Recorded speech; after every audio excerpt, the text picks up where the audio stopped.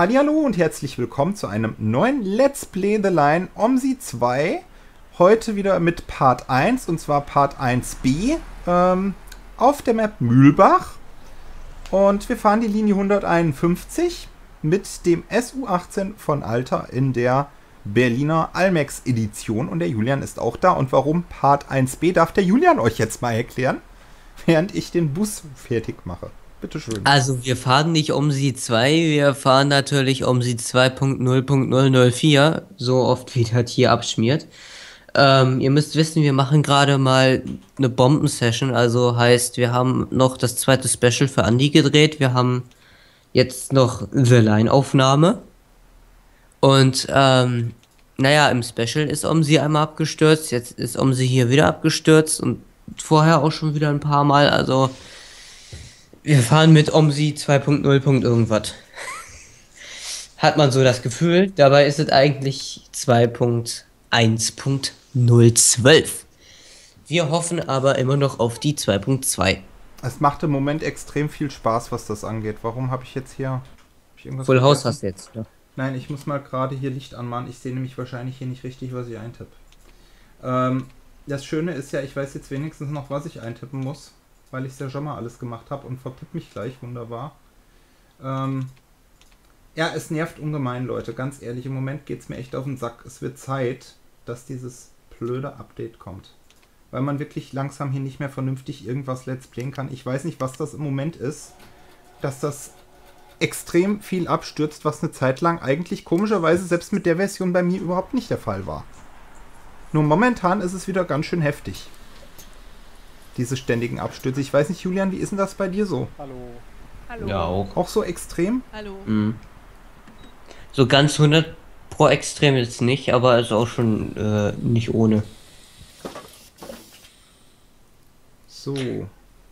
Ja, ich mach, ich würde mal sagen, ich mach mal wieder den, ähm, den Ausfall-Counter. Wir haben ja ähm, jetzt das auch beim Special gemacht.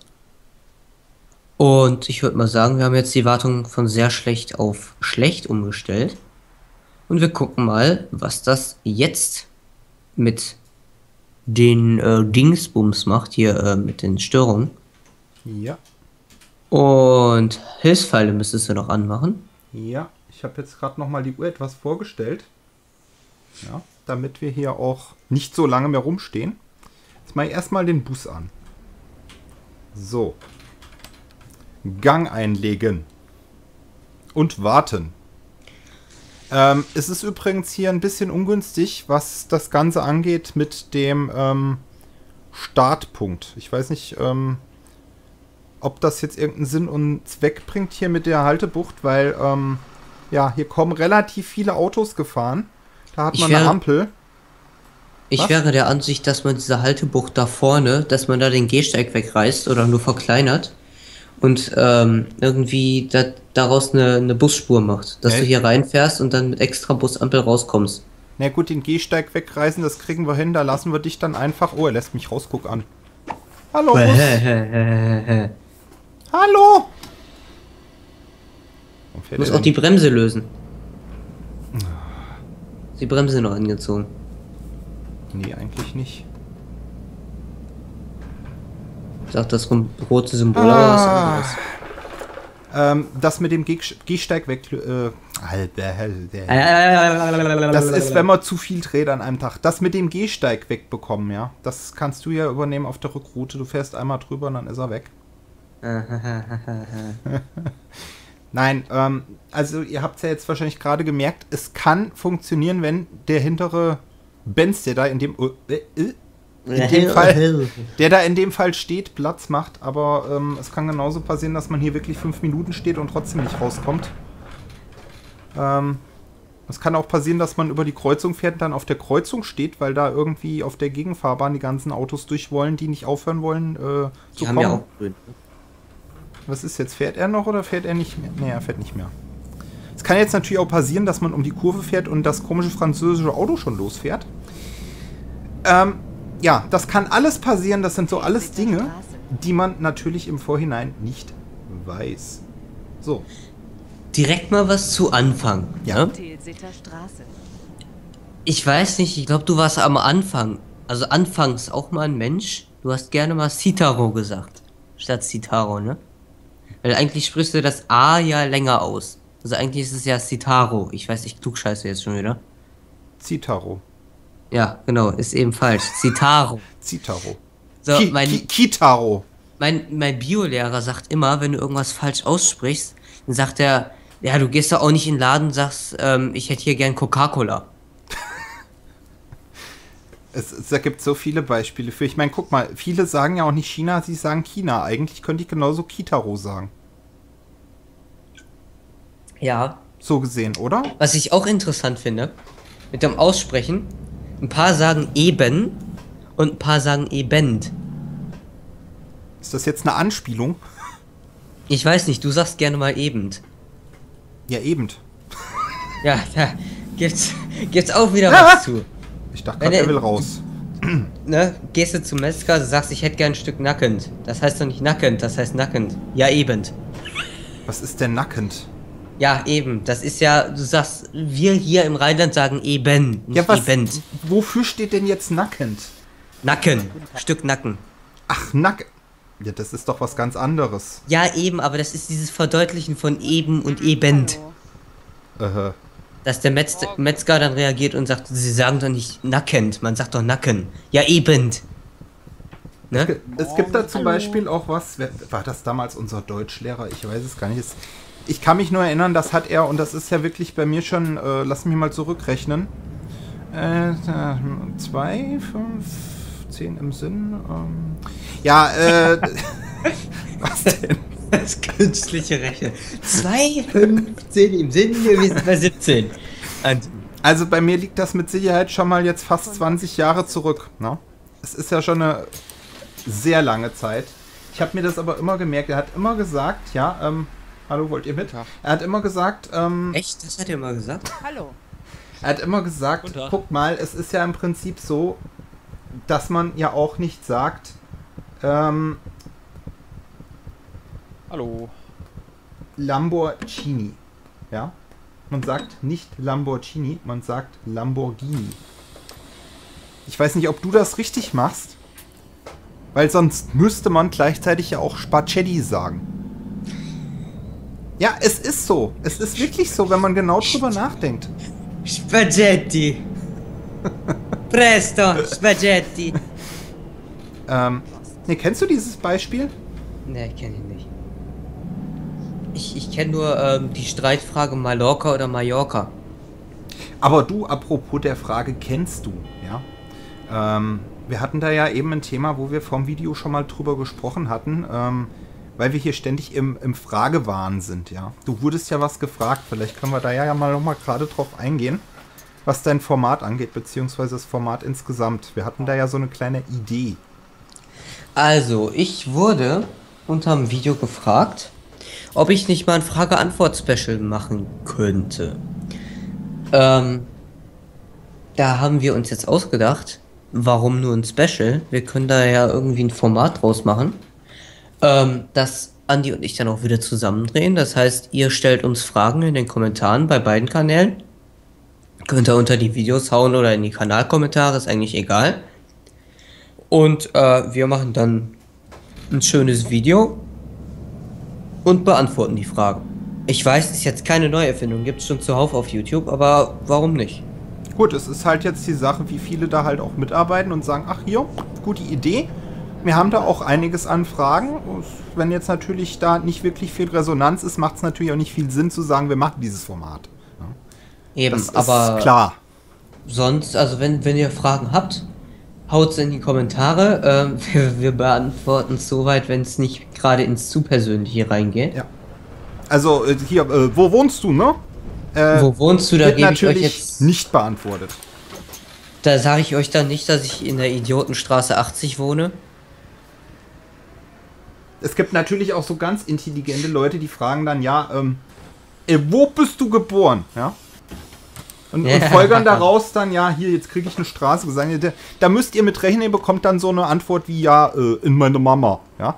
Ähm, Okay, ja, der Andi, der hebt sich wieder von der Masse ab, weißt du, alle werden außer Mutter rausgeboren und Andi bleibt drin. ja. das ist, äh, Ich sag ja, von mir kommt da eine dämliche Antwort zurück. Das ist halt, Ja. ähm, was wollt ihr denn da hinten? Ich fahr doch ganz human. ja, ja. Ähm, nee, aber ich stelle mir das schon interessant vor. Wenn da wirklich auch gute Fragen dabei sind, warum nicht, ne? So. Könnte Ja. durchaus was draus werden. Ai, ai, ai, ai, ai, Was denn? Alles gut. Ja. Du bist der Einzigste, der mault. Hinten war kein Wort zu hören. Die haben alle die Luft, äh, ja. Ähm, Ja, da hast du es schon. Die haben alle die Luft angehalten vor dem Fasti. guck mal hier, schöne Klappe, ne? Bam. Oh, da ist er weg. Was ich interessant Ui. finde, ist Ja? die Fahrerrückwandtextur. Die Fahrer, das ist ja wirklich. können wir ja gerade mal zeigen. Wir stehen ja Die, eh die. Textur ist ja echt. Die Texturen, die Alter hat, die sind ja wirklich Bombe wieder. 1A. Und aber hier diese Textur, die finde ich, die ist auch äußerst gut. Da hat der Julian, bevor wir losgefahren sind, aus Tor noch ein paar Mal mit der Hand gegen äh, geschlagen, ja. Weil Ach, er nicht selber Quatsch, nicht fahren Kopf, durfte. Der Kopf klappt viel besser. Nein, nein, nein. Der Kopf, der, äh, ne, den hast du hier vorne schon an der Scheibe getestet. Der tat dann so weh, da hast du hier die Hand genommen. Ähm, ja, gut, okay, aber so viel dazu. Aber man sieht wirklich hier, was Alter da so reinhaut an Texturen. Das ist Wahnsinn. Ja. Mhm. Wobei, warte mal. Sehe ich da eine Lücke? Nee, was ist das denn? Das ist keine Lücke, das ist einfach nur grau. Das ist einfach nur grau. Ich dachte gerade schon, da wäre eine Lücke entstanden. Das wäre ein bisschen, ein bisschen schlecht. Da hätte ich einen Fehler gefunden. Das geht nicht. Ach, das ist mega noch auf hohem Niveau. Ja, das das Omsi-Forum halt, ne? So. Nein. Ähm, ja, wir Busampel, könnten, Busampel, Busampel. wir könnten. Oh ja, stimmt, da war eine Busampel, richtig. Gut aufgepasst. Die hätte ich jetzt wieder verpennt. Aber man sieht sie noch. Hey, Ja, aber siehst du noch die Lichtsignale da drin? müsste ich theoretisch schon. Eigentlich ist jetzt wahrscheinlich weiß oben. Ähm, ich kann ja vielleicht schon mal mit den Fragen so ein bisschen anfangen. Vielleicht entstehen daraus ja auch so ein paar Fragen. Ähm, wir hatten ja schon mal irgendwann das Thema Spiele, ja. Und wir haben ja hier jetzt so ein typisches Beispiel OMSI, Simulator. Ja? Ähm, und OMSI hat ja jetzt nun auch bekanntlicherweise schon, gut, es gibt viele, die beschweren sich und sagen, nee, das ist jetzt nicht so, aber OMSI hat schon eine gute Grafik, ja. Ist vielleicht nicht die modernste Engine, aber ja, SpeedFX macht einiges draus. Hier dieser Boost, der sehr realitätsnah auch von Texturen her ist, macht was draus und so weiter und so fort. Ähm, kennst du, lieber Julian, eigentlich noch ältere Spiele, die noch nicht 3D waren? Äh, Lange Rede, Ja, also- kurzer Sinn, ne? äh, ja, lange Rede, kurzer Sinn. Also ich würde mal sagen, Rennspiele. Also wenn ich jetzt mal mit Rennspiele, ich war immer so der Rennspiele-Typ, weil, ähm, ja, weiß ich nicht. Ähm, ich, ich habe mit Need for Speed 3 angefangen. Ja, gut, das ist aber noch nicht wirklich alt. Das ist auch schon 3D. Ja gut, aber es war halt schon. Ich weiß nicht, ähm. Es gibt ja auch so ganz Retro-Spiele, also die sind ja auch heutzutage, gibt sie ja als Remake, als aufgepeppelte Version, also sowas wie dieses Ping-Pong-Dot-Spiel oder so, dieses, dieses erste Videospiel, was du da so, also was als erstes Videospiel gilt. Oder ähm, so ein Spiel, ähm, Blobby Volley. Was? Blobby Volley ist ein so, ist so ein Volleyballspiel, was du auch im Multiplayer heutzutage spielen kannst. Und äh, es geht im Prinzip einfach nur darum, dass du mit so Was ist denn da vorne los? Jellybean-artigen Glibbermassen Volleyball spielst. Und das Spiel, man denkt zwar, hä, was ist das denn für ein Schwachsinn? Aber es ist auch so ein Spiel, das hat, wie viele Retro-Games, wirklich ein unheimliches Suchtpotenzial. Also wenn du anfängst, dann hörst du meistens nicht mehr so schnell wieder auf. Hä? Ja, Omsi-Bug. nein, kein Omsi-Bug kann ich dir erklären. Wir haben ja jetzt unseren zweiten Dreh hier, weil wegen Omsi und Absturz und so. Und als ich vorhin Omsi neu gestartet habe, stand ich nämlich komischerweise wieder hier, obwohl ich schon da hinten noch um die Ecke gefahren war. Und da ist mir wahrscheinlich in dem Moment, wo Omsi gestartet ist, der Benz hinten reingefahren. Tja, da muss man mal mit F4 die Kacheln wechseln. Ja. Dumm gelaufen, ist jetzt so, hat jetzt aber nichts mit dem Let's Play hier zu tun in dem Sinne. Ähm, also wie gesagt, haben auch immer so, so, ein, so ein unheimliches, so einen unheimlichen Suchtfaktor, wo du dann wirklich denkst, wow. Also ich kenne das, da habe ich mit einem Kumpel mal, haben wir im Xbox Live Store zufällig dieses alte Ping-Pong-Dot-Game da gefunden, als, als kostenloses Indie-Spiel. Und daraus wurde ein ganzer Abend Äh. mit diesem Ping-Pong-Spiel. Und ich finde find einfach nur, muss so lange, bis die Unfallmeldung kommt. Das mache ich jetzt anders. So. Ja, erzähl nur weiter. Und daraus wurde eben halt ein ganzer Abend dieses Spiel spielen, weil es wirklich, du hast da einen Spaß dabei, das ist, das denkt man nicht, aber du hast dann, wenn du das spielst, ist wirklich Spaß dabei. Guten Morgen. Morgen. Also, es ist ja ähm, mittlerweile auch schon so ein bisschen so, du kriegst ja die alten Sachen teilweise auch echt wieder. Auch wirklich in Originalversion habe ich festgestellt. Wenn man mal auf Steam guckt, gerade die Tage jetzt, ähm, ist mir ein Spiel in, ins Auge gestochen, das kenne ich noch aus, ich weiß nicht, 97 oder noch früher? Ich weiß nicht, vielleicht sagt ihr das was vom Namen her. Descent Betriebshof. gab es, glaube ich, bis Teil 3, ja. Äh, äh. Junge, mach Berlin. keinen Quatsch. Mach keinen Quatsch. Ähm, ist eigentlich ja ein Spiel von Anno dazu mal, aber man kriegt es trotzdem auf Steam und das fand ich doch sehr interessant irgendwo auch. Dass man wirklich so alte Sachen findet, aber es gibt ja durchaus noch ältere. Ähm, schaut mal zum Beispiel auf YouTube, googelt einfach auf YouTube, googelt mal auf YouTube, ja. Hallo. Googelt mal auf, ja gut, streng genommen kannst du sagen, weil YouTube zu Google gehört, aber klingt schon bescheuert. Ey, ey, googelst du auf YouTube, ne? Guckst du mal nach Lotus. Ich weiß nicht, Lotus sagt dir wahrscheinlich auch nichts mehr. Ne. Null. Ähm, war eines der ersteren Rennspiele im Prinzip. Damals noch ein, äh, ich weiß gar nicht, war das 8-Bit oder so? Oh, warte mal, muss ich hier rein? Und das ist der Betriebshof. Da musst du nicht rein. Sie hat aber gesagt, Betriebshof wäre Haltestelle. Das ist die Haltestelle, ja, da hast du gerade gehalten. Achso, okay. Ähm, wo war ich? Achso, das ist glaube ich noch 8-Bit oder sowas. Also wirklich äh, minimale Grafikfarben auch. Man hat da so ein kleines texturiertes Auto in der Mitte des Bildschirms. Und ähm, nicht das Auto bewegt sich.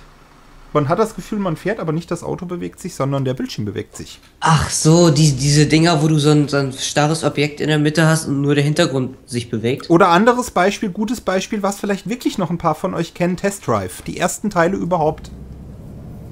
Damals noch für, ich weiß gar nicht, Amiga oder C64 oder sowas. Da war ja an 3D noch gar nicht zu denken, glaube ich mal.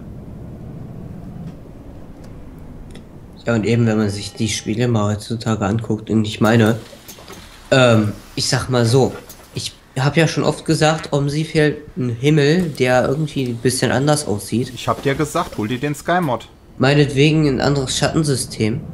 Und dann hast du auch wirklich eine gute Grafik, weil es kommt halt immer darauf an, was hast du für Texturen. Weil wenn du jetzt dich auf die Straße stellst im Real Life und du fotografierst da die Texturen ab, dann denke ich, da kriegst du auch ordentlich, da holst du da noch ordentlich was raus. Also man, man schau sich Hamburg an. Zum Beispiel. Als gutes Beispiel Hamburg. Ja. Da hat er ja auch eigene Texturen überall und du denkst manchmal wirklich mit SweetFX in Kombination, meine Fresse, ich bin in Hamburg. Weil, ähm, das kommt manchmal so genial rüber. Und außerdem, ähm, Omsi ist für mich immer noch der beste Bus-Simulator, den ich je gespielt habe, weil diese Funktionalität, diese Erweiterbarkeit, die hast du nirgendwo.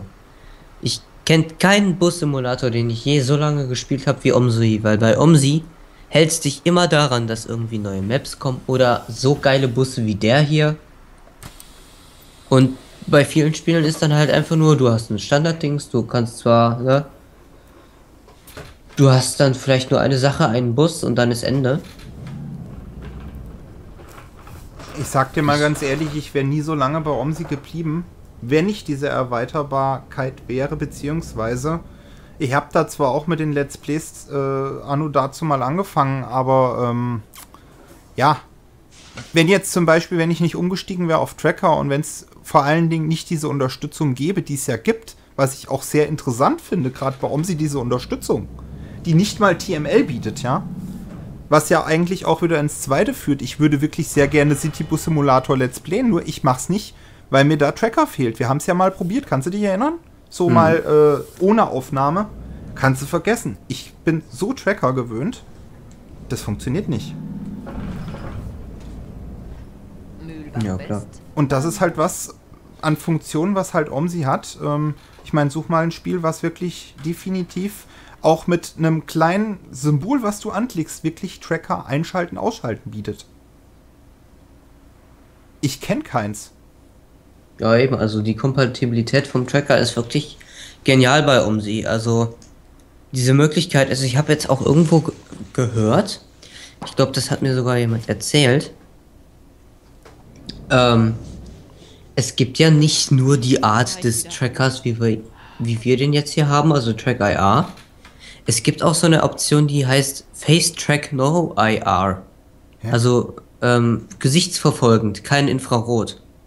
Weil Track IR ist ja Infrarot. Und es gibt so irgendwie so ein, äh, kannst du die selbst zusammenbauen mit einer Webcam und so einem bestimmten Programm. Da setzt du dir eine Webcam auf dem Desktop, äh, Quatsch, auf dem Desktop, auf dem, auf dem Bildschirm drauf. Ja. Und dieses Programm scannt dann deine Gesichtsbewegung. Da musst du nichts auf dem Kopf haben, sondern das scannt einfach über die Webcam dein Gesicht und überträgt das dann als Kopfbewegung in OMSI. Ja, gut, wobei ich mir denke, dass das vielleicht doch schon ein bisschen fehlerbehafteter noch ist. Ihr fahrt jetzt nicht ernsthaft, oder? Ich habe grün. Die haben auch grün. Verkehrsregeln. Oh Gott, was ist denn das? Eine enge, aber du bist jetzt da. Wie Sie fahren. Hier ist der Terminus. fahren Sie bitte nicht auf mich Ja, ja, ja, ja. Halt die Klappe. Da oben steht eine U-Bahn. Das ist eine Ziege ewig am Plären, ne? Du musst aber noch eine weiterfahren. Ist Du musst noch da rechts Ich- hinten in die Dings rein. Ich dachte, ich müsste hier rein. Du hast doch gesagt, wir wären da. Ja, hier rein und dann nochmal da. Ja. Dann erzähl mir doch nicht so ein Zeug. Warte mal, wo? Rechts, rechts. Jetzt rechts. hier. Jetzt. So. Jawohl. Nee, aber das ist wirklich, diese Möglichkeiten finde ich schlichtweg genial. Und deswegen bin ich zum Beispiel auch noch bei OMSI geblieben. Und werde da auch weiterhin bleiben. Und irgendwie kriege ich keine Auswertung, warum auch immer. Bist du sicher, dass wir da sind? Ja, hier steht 151 Terminus. Das ist aber sehr mysteriös. Das ist sehr mysteriös. Ich habe keine Ahnung. Gucken wir mal in die Fahrplanauswertung. Wir hatten übrigens keinen Fehler. So, ich nicht wundern, ja, ich bin jetzt gerade mal in der Fahrplanauswertung. Äh, Zu spät. Ja, zu spät, aber warum kam die jetzt nicht? Also der Fahrplan läuft noch.